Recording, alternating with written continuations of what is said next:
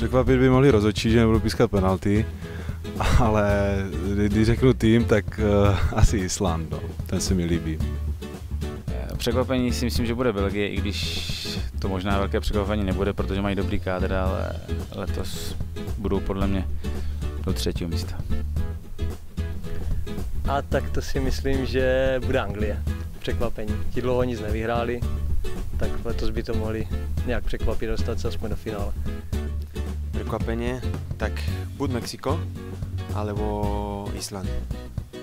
Mexico or Portugal because they play good against. I know it's big country, but I think nobody expect that they play well like this against Spain. So, but Mexico.